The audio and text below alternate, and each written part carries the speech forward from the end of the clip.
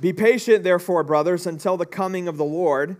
See how the farmer waits for the precious fruit of the earth, being patient about it until it receives the early and the late rains. You also be patient, establish your hearts, for the coming of the Lord is at hand. Do not grumble against one another, brothers, so that you may not be judged. Behold, the judge is standing at the door. You may be seated. so, heads up real quick on Wednesday night, we have a service at 7 p.m. Uh, we are going through a series in the month of, uh, or through the summer months, uh, called Unpopular. We are addressing some of the most unpopular topics uh, that uh, society doesn't really like to talk about. And we're going to the Bible and seeing what the Bible has to say about them. So far, throughout the month of June, we have addressed homosexuality, transgenderism. We've addressed gifts of the Holy Spirit, manifestations of the gifts of the Holy Spirit. And then we have uh, now, next week, last or last week, we talked about uh, denominationalism. So we talked about denominations, where they came from, uh, where they arrived on the scene. And then this Wednesday, we're going to talk about cultural Marxism.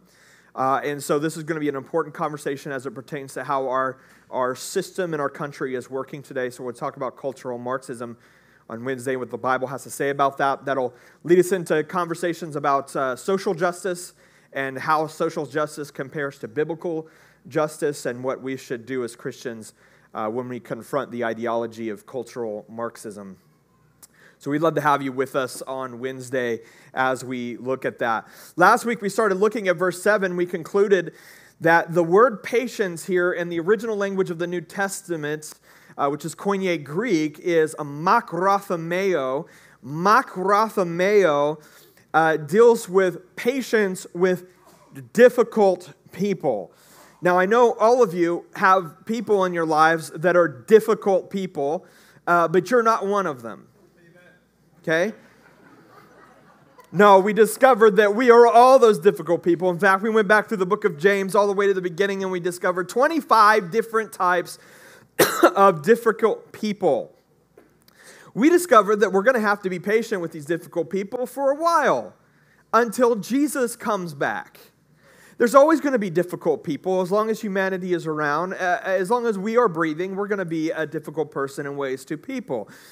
Difficult people are going to be around until the end. That's the reality. So now, James has reminded us of 25 different people uh, that are difficult to deal with, but he doesn't just leave us hanging there. He gives us some practical advice on how to deal with difficult people and difficult situations. And so today we're going to get through three of those, and then we'll get through the final three next week in verses 10 and 11.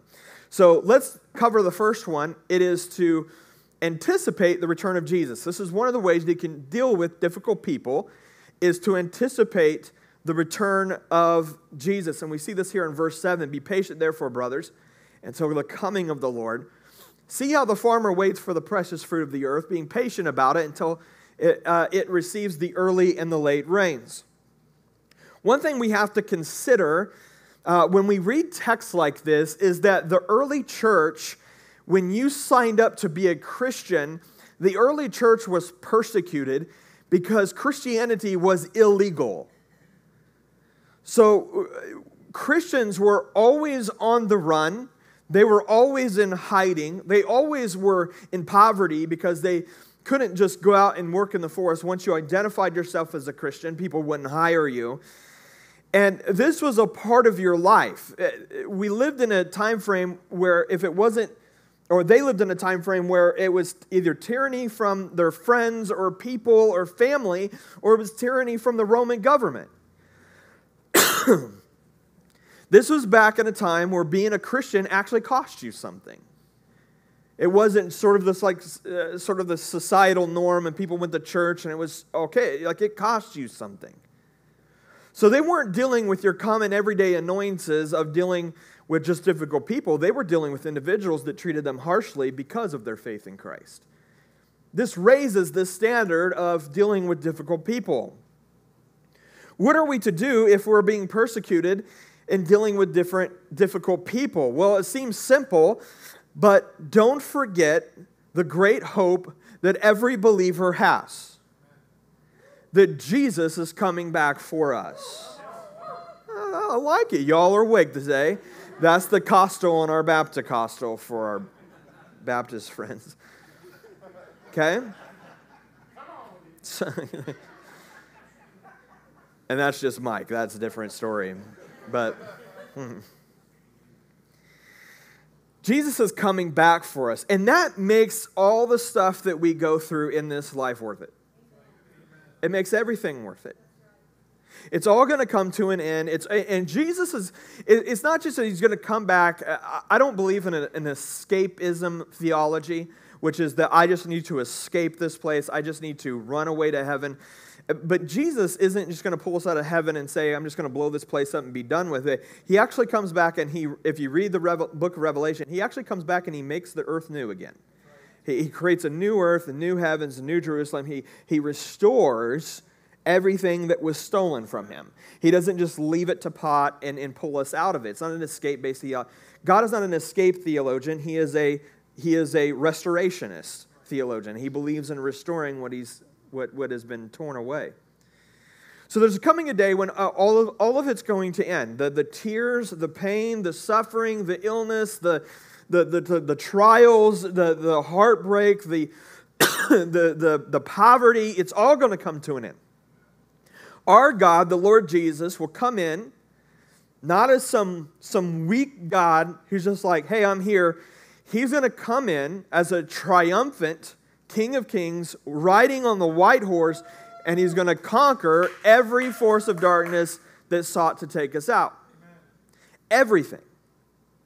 Every demonic force that ever postured itself uh, uh, up against us, every um, form of evil, and even our own sin, which sought to kill us and destroy us and take us out, he will bring justice to.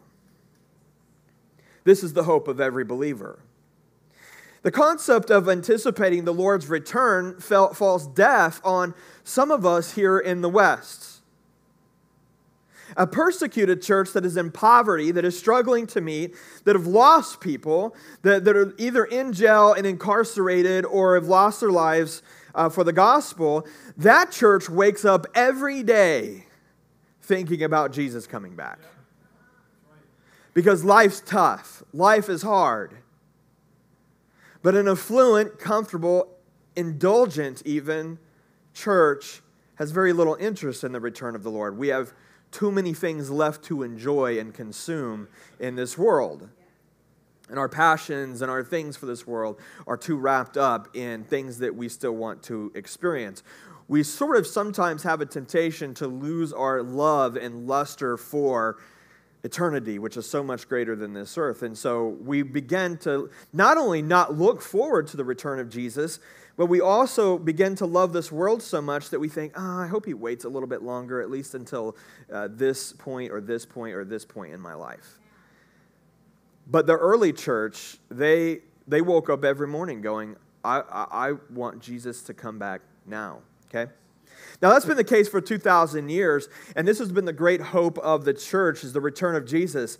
The encouragement also came from the mouths of the apostles several times. Paul said in Romans 8 18, For I consider that the sufferings of this present time are not worth comparing with the glory that is to be revealed to us. And you're talking about a guy right here. Well, let's read 2 Corinthians 4 17. This is the Apostle Paul again. For this light momentary affliction is preparing us for an eternal weight of glory beyond all comparison. You got to keep in mind that this guy Paul, if you read 2 Corinthians chapter 11, you learn that he was shipwrecked multiple times, left for dead, beaten within an inch of his life. He was thrown in prison multiple times. He was falsely accused. He went through all of these things in his life. I don't know about you, but I don't know that any of us could raise our, raise our hands and say that we've done that for the gospel. Okay? Paul's went through all this stuff, and look at the wording that he uses to describe his situation light momentary affliction. I don't think there's a single one of us in this room that are uh, maybe, maybe, maybe you're just more holy than I am. But if, if it was me in that case, I know that I would be a little bit more complainy and I would not be as, as, as have such a holy perspective as Paul did. But if I was beaten within an inch of my life, left shipwrecked, thrown in prison several times, I wouldn't have the attitude, light, momentary affliction. But Paul understands something that we have a hard time grasping sometimes, and that is heaven is so much greater. And the reward that waits on the other side for those who endure for the gospel of Jesus makes all of this seem small. 1 Peter 1 6 through 7, in this you rejoice. This is from Peter. Though now, for a little while, if necessary, you have been grieved by various trials, so that the testing, the, so that the tested genuineness of your faith, more precious than gold that perishes, though it is tested by fire, may be found to result in praise and glory and honor at the revelation of Jesus Christ. Most of the time, when people think of Christ's return, this is what their, this is where their brain goes they enter into speculation of what end times is going to look like. Now, I, I, I, there's nothing wrong with that. I, I, I love that conversation. I love diving in the Bible. We as a church covered the first 11 chapters of the book of Revelation uh, a year ago, and, and, and, God willing, we'll go back and finish the book. But as we looked at Revelation, I don't mind. I don't mind at all having that conversation, but we tend to just hyper focus on events and blood moons and all of these conversations, which are fine to have, nothing wrong with that. But if we do that without looking at it as a way to encourage us to live a holy life, we're missing the full picture. Okay, the full picture is that the return of Christ being imminent spurs us on to realize that at any moment Jesus could blow the trumpet and, and here he comes back and, and, and he comes back and he rescues us from that. And, and I'm just telling you right now, I'll be honest with you, like if that thought and that notion scares you a little bit, that Jesus could blow the trumpet and come back now, and you're like, ah, but there's things I need to, uh, then, your, then there's, your love for the world and your love for God is imbalanced. It's imbalanced. And, and you haven't yet fully come to a realization of what you're missing out on by staying here. Um, I don't want to stay here. I love my family. I love the, the, the, uh, the the blessings of God, but I'm telling you, I think if we got just even a small glimpse of heaven, I don't think that we would even think twice about staying around this place. All right, and then of course the new earth being just as glorious in itself. First John 3 2 and 3 Beloved, we are God's children now. You are God's child now. You don't belong to the world, you are not your own. Okay, you don't belong to daddy and pappy, you belong to God. And what we will be has not yet appeared, but we know that when he appears, we shall be like him. Now, this does not mean deity. This does not mean that we're divine in any way, shape, or form. Only God is divine. But what it means by we shall be like him is that we will be righteous like him. And it's not righteous because we have accomplished that righteousness, but he will give us the, robe, the robes of white. Uh, he will clothe us in his righteousness that he imputes and gives to us as a gift through his salvation. when he appears, we shall be like him, because we shall see him as he is. And everyone who thus hopes in him purifies himself as he is pure. You know, in the New Testament, there are 300 references to the second coming of Jesus. That means that if you were to go through the book, one in every 13 verses is about the second, the, the second coming of Jesus Christ. It's an important thing. James uses an example here of a farmer uh, being patient, waiting on the late rains, which was a long time in their watches. Planting season was in October or November, and the late rain came in March and April. The key here is that the farmers are completely depending on an act of God for their provision. If God doesn't allow it to rain, if God doesn't make it rain, their crops won't grow and they don't eat. So you could talk about uh, kind of being nerve wracking, waiting on something to happen. This rain has to come or we don't eat. In the same way, we have no control over when the rain comes. We also have no control over when Jesus returns.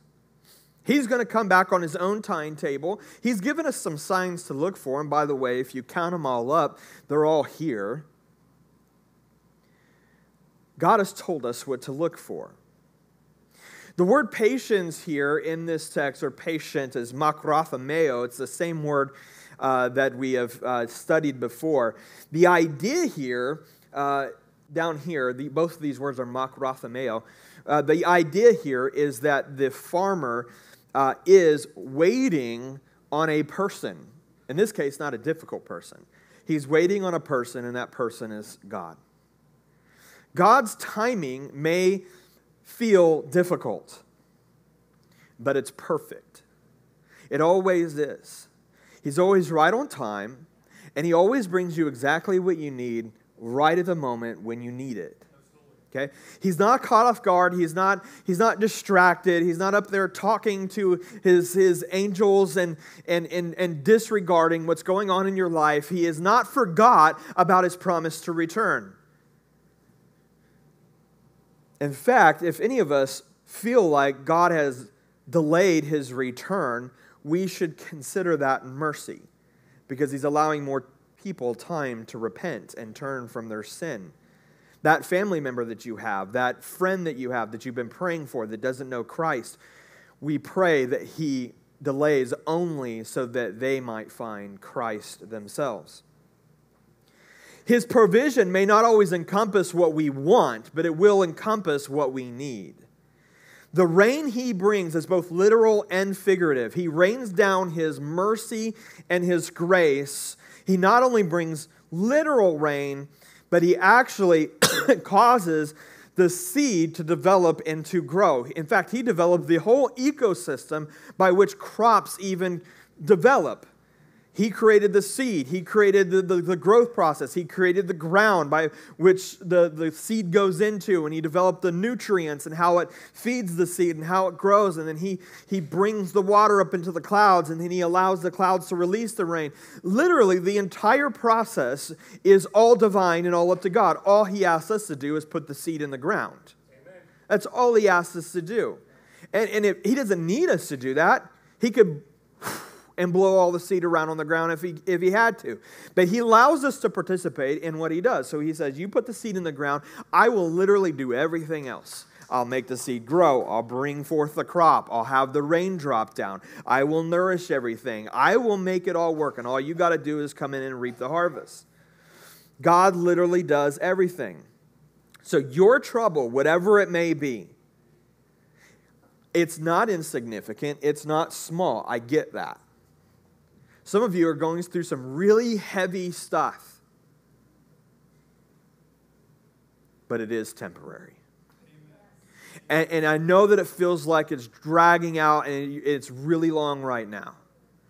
But, the, but eternity is going to make the time frame that you're going through what you're going through, it's going to make it look so small and so insignificant. For James to look forward to the second coming of Jesus is a big deal. Here's why he's seen a lot. James was one of the three that were standing on the Mount of Transfiguration, and, and Jesus pulled back part of his, his glory from his veiled flesh and very temporarily showed them part of his glory. And it was so overwhelming, they dropped on their face and they were glowing, and it was just this powerful moment, like he's seen a little bit of the glory of God. He saw Jesus, uh, uh, the love of Jesus on the cross, and then he saw Jesus ascend uh, into the heavens. He saw all these things. And yet, James still says, I can't wait for Jesus to come on the white horse because it's going to be just as even more glorious as what I've already seen. And he tells us to look forward to that. The second thing that we have to see is in verse 8, and that is to establish your hearts. You also be patient, establish your hearts, for the coming of the Lord is at hand. Now, the word here for establish is sterizo, and it means to establish in a fixed location, to put something somewhere. Okay? It means put your heart into an established location. How about the contrast here, verse 5 of what we looked at a couple weeks ago? You also be patient, establish your hearts. When earlier we saw James's uh, uh, uh, heat that he applied to people who were misusing and abusing people and those who were overindulging, and he says, You fatten your hearts. We can forfeit the harvest that God has called us to with inaction and inconsistency. With allowing ourselves to not have a fixated heart solely focused on the purpose of the gospel. I, I, would contend this. I think one of the greatest sins of the church right now is inaction and inconsistency. It, it's people who are so inhibited by whatever by whatever cause fear, fears most of it, lack of love. But the church has sort of held back. Fathers are not stepping up into their role. Mothers are not stepping into their role. Kids are not, uh, they're pushed into the world rather into the gospel. And you have a church that's really lacking action, that lacks evangelistic efforts, that, that lacks a, a, a true a, a, scripture studying and, and, and the responsibility to, to push into that and receive and give discipleship. You have a church that's just held captive. Uh, you have a church that, well, I do a, I show up and I'm, I do a couple things at church every now and again, and that's sort of my, my penance, if you will. But Jesus has called us to a radical life of servanthood, a radical life of servanthood, one that demands a sacrifice. And we're not saved by those actions, and we're not saved by the sacrifice. Jesus did all of that, and only He could. But that there is good works that we are called to. There is a purpose to which we are called to, and the church is held stricken by inaction. We just sit around while people go to hell. We just sit around while God's name is blasphemed and false doctrine all surrounds us, and we just shut up about it because we don't, we, we don't want to be mean. Or if, if somebody does post something on Facebook, we're not going to, I don't want to put my name on that, uh, or, or else I might get labeled. We have a church that's full of in, people of inaction, inconsistency. I, I remember growing up, I'd go to youth camp, and uh, we get all fired up about Jesus. And it's easy to get fired up about Jesus at camp. You're in this euphoric environment. You've got your, uh, uh, I had my five camp girlfriends, and uh, just kidding. I, I, I had one if I was lucky. Don't tell my wife. It was, uh, it was, ter- it was BC Tara. Um, but like you'd have your camp girlfriends, you'd be hanging out all day long, and it was fun, it was blast. You know, you didn't have any responsibilities. You just hung out at the lake all day, and you just did all this stuff, right? And so then we get all dressed up and we go to the tabernacle and we have service and they'd have like this dynamic speaker that they paid a lot of money to come in. He was like, blah, blah, blah, you know, he's like very, very uh, uh, demonstrative and we get all charged up and then we have an emotional altar time and we all at the altar and different things like that. And it was a powerful time. You come home all fired up about jesus and you come to church on sunday morning and give your testimony about what jesus did in your life and then a week later and because you go back into the real world and you see that not every, you did, it's not an atmosphere where there was only Christians and you only did Christian things. You did devotions every morning and you had services every night. And you get back in the real world and you realize that things don't work that way this is uh, I, we have the kind of the camp fever when it comes to church on a week by week basis we come in with a, okay i really got convicted by this sermon uh, during worship. I was really god was speaking in my heart. I came down to the altar. I, I bowed down and I, I, I, I figured this all out. I'm, I'm going to get my life straight. And then monday morning and we're inconsistent. And i'm not saying we got to move mountains every week. But man when are we going to buckle down and have discipline? Our theme for 2023. When are we going to buckle down and be disciplined?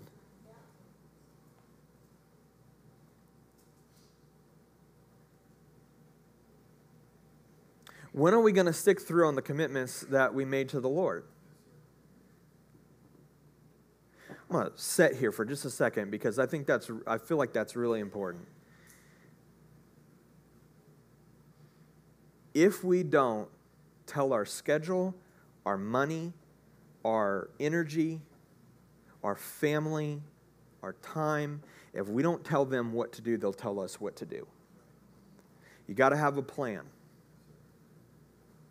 I know you set out from family camp last year and you're like, I'm we're going to do devotions and we're going to do this and we're going to do this, and you're not doing them anymore. I just need another family camp so I can get back on the track. No, you don't. You just need to do do it again tomorrow. You need to get back on track tomorrow. You don't need another family camp to charge you back up and get that adrenaline shot. That eh, you don't need church on Sunday morning or Wednesday night to be an adrenaline shot.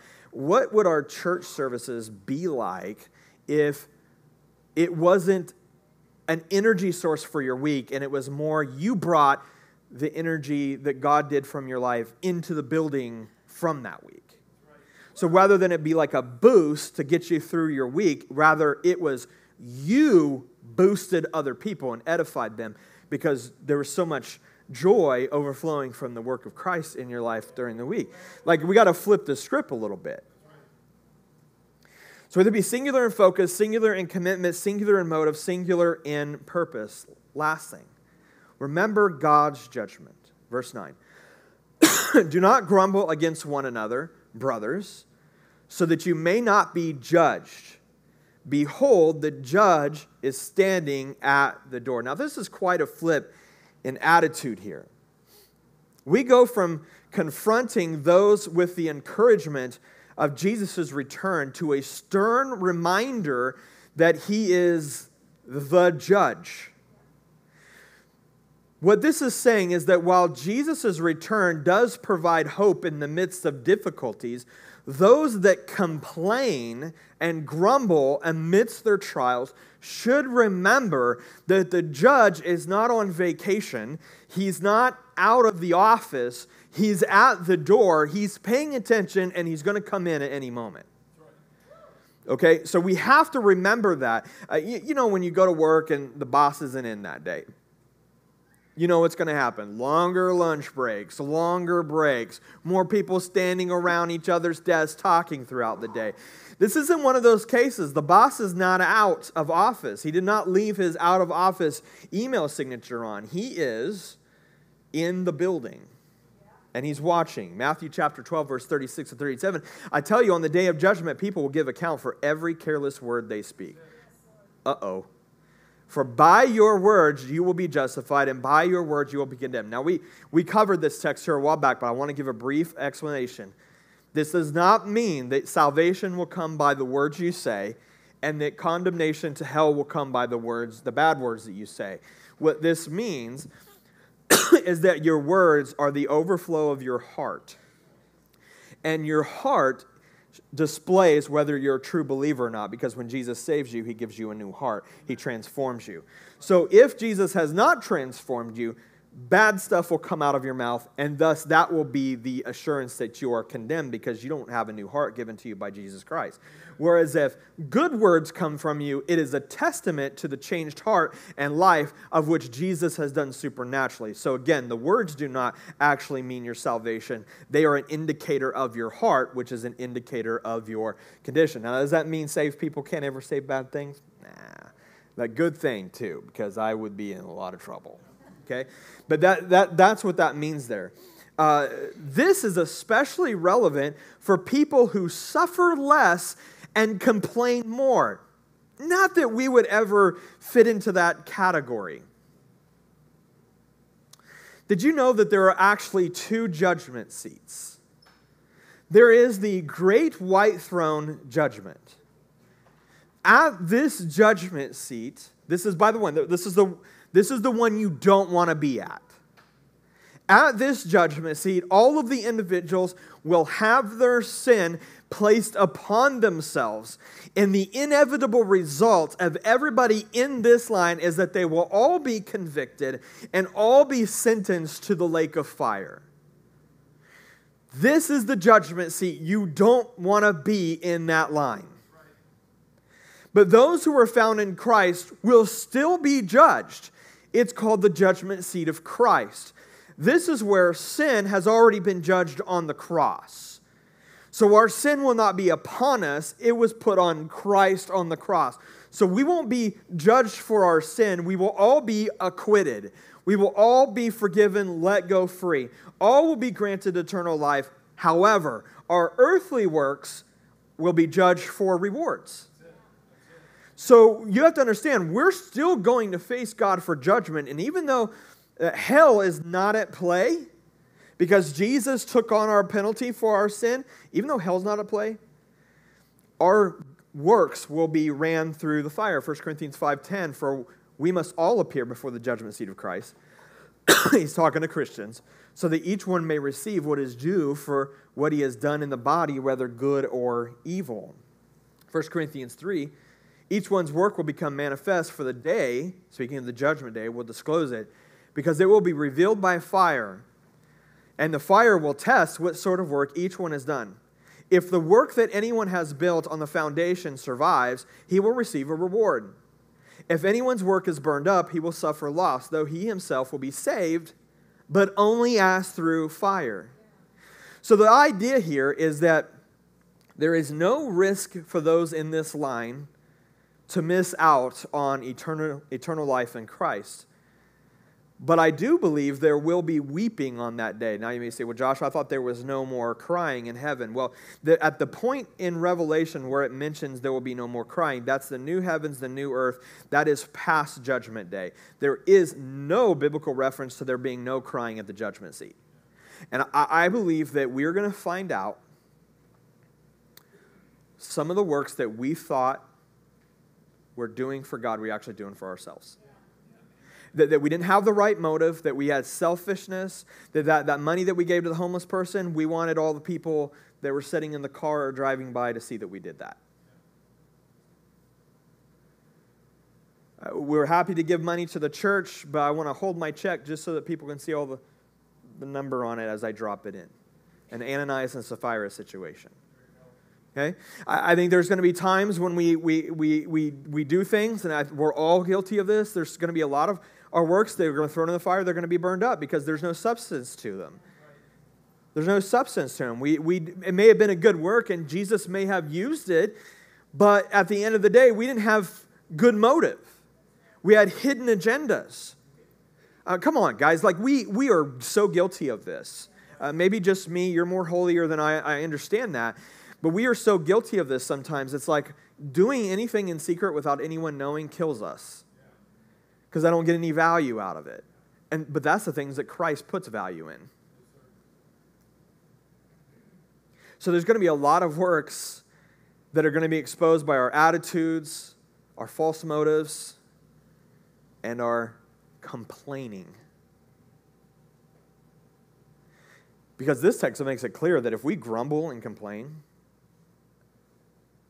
that work will be burned up. We will find out all of the missed rewards that could have been if we had gotten our heart right and not been selfish. 1 Corinthians 4 5, therefore do not produce judgment before the time, before the Lord comes. Who will bring to light the things now hidden in darkness and will disclose the purposes of the heart? Then each one will receive his commendation from God. We've been warned. Revelation 22 12, behold, I am coming soon bringing my recompense with me to repay each one for what he has done. Good works are not good because we do them in Jesus' name. They're good because God does them through us. And when God does them through us, they are righteous and they receive due reward. I was listening to a story once of a, a person who just got done preaching a sermon, and uh, and uh, the people, one of their first sermons, and everybody was happy and they clapped after the sermon was over. And so this, this young person went back to the back behind the stage and was feeling really good about themselves uh, from the, the applause from the, the congregation. And their mentor walked up to him and said, Good job out there, but you better go do two things, or excuse me, you better go do 10 things in secret because you're not going to get a reward for that. Because that whole crowd just gave you your reward. So you better now go do 10 things that nobody knows about. The idea isn't some scale, justice scale where you got to balance it out. That's not the idea. The whole idea and the purpose of exaggeration is man, man applauded for you on that. You got your reward. It's the things done in secret with the right intention that are the key. Do not grumble. This is grumbling towards people, it's grumbling towards God. Grumbling is complaining, scorning, griping, finding fault, nitpicking.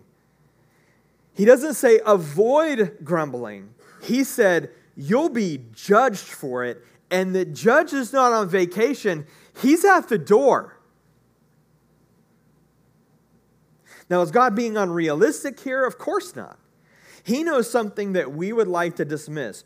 Grumbling is something terribly toxic. Grumbling disrupts the harmony that the peace of God desires for our life and for his people. Grumbling tears down others instead of edifying. Grumbling lays aside a thankfulness for the blessings of God. Grumbling against people is a sign of prideful superiority. Grumbling against God is a spoiled, indifferent attitude that fails to acknowledge God for all that he has already done. I'm stepping on my own toes at this point. Grumbling about anything is a sign that we have a complete irreverence for the grace and the mercy that God has already shown us. That if we got what we deserve, we would be burning in hell right now. But because we don't, God gave us this window of repentance for those of us that know Him. We don't even have to face the penalty for what we've done. And here we are complaining? About what? Grumbling displays a heart, though given to Jesus, has not been fixated, placed in a, in a particular spot with a singular focus, and now aims at destroying the works of man and the works of God with that person's tongue. Grumbling as if, as if to say, I'm unfulfilled, I'm empty, I'm dissatisfied, even though God has already met all of my needs according to his riches and glory. And in the midst of those needs having been met, I find myself still in a place where I say, It's not enough. That's what grumbling communicates to an all sufficient God. And it's not because that's reality, it's because in my own selfishness, I have turned to my sinful desire as a means for fulfillment, because I always have to have more. I always have to be right. I always have to have it my way. Of course, God's not going to permit that. Grumbling is a heinous sin, that any complaint is one that is made against the sufficient and providential will of God. Now, let's look, at, if you have your Bibles, turn with me. We're going to look at an Old Testament uh, story, Numbers chapter 21, fourth book of the Bible. Numbers chapter 21. We're going to look at verses 4 through 9. Page 231. That'll be true for you, Dave, because we have the same Bible. And Cody, we have the same Bible, do we not? Page 231, gentlemen. Buffalo skin ESV. 167. We got 167 over here. What else we got? How far are we going in? Anybody got a large print? We in the thousands? Yet? Maybe study Bible. Maybe study Bible in the two, three thousand. Maybe you got the MacArthur that's there's more text on there than the Bible sometimes. All right, let's read this together, uh, or not together. I'll read it. You guys can just listen. From Mount Hor, they sent out by the way to the Red Sea to go around the land of Edom, and the people became impatient on the way. And the people spoke against God and against Moses. Why have you brought us up out of Egypt to die in the wilderness? For there is no food and no water, and we loathe this worthless food. Now, notice that there's, an, there, there's a contradiction right there in his own statement. He said there's no food and there's no water, and then all we have is this worthless food. So clearly they had food. So it's right there. They're just being dumb. Then the Lord sent fiery serpents among the people I think God takes grumbling pretty seriously. Okay, I, am aren't you glad He doesn't send fiery serpents after us every time we whine and moan, right? Uh, and they bit the people so that many people of Israel died. And people came to Moses and said, We have sinned, for we have spoken against the Lord and against you. Pray to the Lord that He may take away the serpents from us. So Moses prayed for the people. And the Lord said to Moses, Make a fiery serpent and set it on a pole, and everyone who is bitten, when he sees it, shall live. So Moses made a bronze serpent and he set it on a pole. And, and if a serpent, and he lifted it up, so you have to understand this is a foreshadow of Jesus being lifted up on the cross. And if a serpent bit anyone, he would look at the bronze serpent and live. the Israelites, who had been, they saw waters part, they saw that they had manna and water coming from a rock every day. How cool would it be to have water coming from a rock every day? I get it. You're tent camping in the middle of the desert every day. Okay, I get it. Uh, I, I, I get manna, probably gets old after a while. But he always kept it fresh. He always gave them what they needed. And not only that, but they, they just left Egypt where they were under harsh slavery conditions, where they got beat and didn't get enough food to eat. God gave them more food and He gave them freedom. And then they still wanted to go back to slavery. Whine, whine, whine, whine. I just want to go back to slavery. I had it better in Egypt, blah, blah, blah. And here they are in the middle again, and God's had enough. And He says, I'm just going to wipe some of you out because I'm tired of it. And I don't believe it was an accident, the ones that were bit. They weren't coming back from this grumbling thing. And, and grumbling is an infectious disease, it, it, it spreads so fast. All you got is one person that starts complaining, and all of a sudden, you know how it is at work. Oh my goodness, this boss rant, rant, rant. Oh, me too. Rant, rant, rant. And all of a sudden, it's just a contagious disease where everybody gets on it. That pastor, rant, rant, rant. Just kidding, none of you do that. I know. This shows us exactly how God feels about people that are discontent, impatient, and complainers. It's a serious sin. It really is. Grumbling and complaining is a deep seated spiritual problem. What's the problem? The problem at its core is it is a failure to trust, which is faith. It is a failure to trust God in His will. That's why it's such a big deal. It's a distrust against God and His plan for your life. God hates it, and He's killed people for less. We don't have to go guess how serious God is about it. We see it very clear in Numbers 21 as well as several other key texts. You know, I, have met a lot of Christians in, in, in a couple of decades that I've been serving Christ. I meet ones that are all talk, but won't show up when there's work to be done or there's prayer to, to be carried out. I see ones that conveniently skip out on hard stuff with lying, exaggerated excuses. I see ones that will exaggerate their sufferings of situations for pity and, and always have a, a, a, a, way to get out of the hard stuff. I see ones that will show up, but when they do, they will voice every living complaint that they can think of. Got to make the pastor know how much you're sacrificing and you're suffering for him, even though that's not who you're working for. I've seen people ask, who's going to be there before coming, as if the whole reason why they are wanting to be around is the people that are going to be there rather than it being for Christ. And I don't know, maybe meeting a few new people along the way. I've seen a lot of that. Eh, but, but you know what is clearly in the minority? People that show up, do the hard stuff, often in secret, and say nothing about it. People that aren't there to be noticed or paraded around, just people who want to please God, even if, a, even if a, no other person ever sees it or appreciates it or, or acknowledges it. People that show up even if they're not in charge. Oh, people that, that they won't walk into any situation unless they're in charge. I don't have nothing to do with it unless I, unless I, have, I have control. People that never complain. Even if they have, uh, where are the people that, that never complain, even if they have a reason to? I, uh, this is what James is pointing us to that we don't grumble against each other, but whether we seek to serve and to love each other and recognizing that the things done in secret that nobody knows about. Yeah, okay, I get it. We all want to be appreciated and loved, but at the end of the day, the things that are done in secret, those are the things that are going to be rewarded out in front of everybody in heaven. Let us strive to be those people. And as we look to our greatest example of all, we can look to Jesus Christ. We can look to our Lord and Savior Jesus Christ, who gave of himself in his whole totality. Jesus, who was God, humbled himself. He stepped, he stepped, he didn't step off his throne in the sense of being God, but he stepped out of his place of glory. And he put on human flesh, and he came to earth and he submitted himself in every way as a humble servant.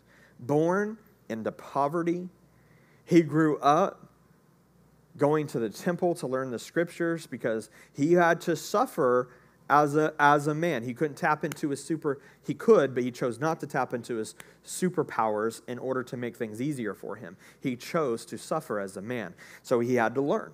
He had to learn the scriptures. He had to go to the temple. And, and he, he, he, he endured. He suffered. He went through all of these things. He felt heartbreak at his friends passing away. He, he felt the, the struggle of his friends betraying him. He felt the, the heartbreak and, and all of this, the going to the cross and suffering and dying. He, Jesus endured all of this. And, and through it all, he kept God's uh, solemn plan for his life, the Father's plan, in his singular focus. Even when he's in the Garden of Gethsemane and he's, he's bleeding, he's, he's, he's sweating drops of blood. His focus was the Father's plan. He even asked him, God, if there's any other way, can we, can we consider that right now? But nevertheless, your will be done, not mine. He never complained. He never once said, I can't believe that we have to do this for these people that are spitting on me right now. He did it in love, and he did it without murmuring one single grumble or complaint. Let him be our example.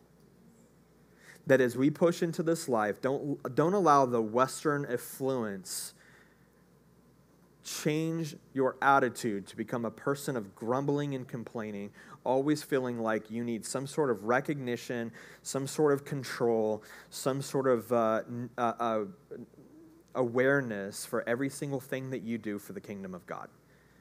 But recognize that, on, but, that before everyone at the judgment seat of Christ, Christ is going to take all of your works and he's going to throw them in the fire. And, and I, I, here's my fear. Can I just be transparent with you with myself? Like, I feel like more of them are going to burn up than survive. You know what I'm saying? And, and I'm going to see what, what rewards I could have had and I'm going to see, because those are eternal rewards. They, they, don't get eaten by moths, they don't get destroyed by rust. These are, these are things that go on forever. I'm, I'm pretty sure they're, they're, pretty, they're pretty legit. I'm hoping for a lifetime supply of Wingstop.